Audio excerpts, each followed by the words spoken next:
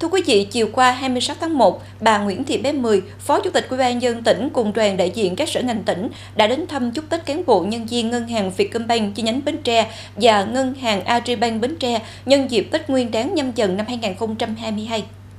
Tại mỗi điểm đến, đoàn đã nghe lãnh đạo các chi nhánh ngân hàng Vietcombank, Agribank thông tin những nét nổi bật trong một năm hoạt động của đơn vị, tuân thủ các chỉ đạo chủ trương của chính phủ và ngân hàng nhà nước, trong năm qua, các ngân hàng đã triển khai hàng loạt chương trình, gói giải pháp để hỗ trợ cho các doanh nghiệp và khách hàng. Kết thúc năm 2021, các chỉ tiêu về quy mô đều có bước tăng trưởng so với năm trước. Công tác quy động vốn đạt khá cao. Các ngân hàng Vietcombank, Agribank đã dành kinh phí từ 2 đến 3 tỷ đồng thực hiện công tác an sinh xã hội tại Bến Tre như hỗ trợ thiết bị, phương tiện cho tuyến đầu phòng chống dịch, hỗ trợ quà Tết dành cho hộ nghèo, hộ chính sách khó khăn, mua bảo hiểm y tế học đường cho học sinh thuộc hộ cận nghèo, trao học bổng cho học sinh, dân dân.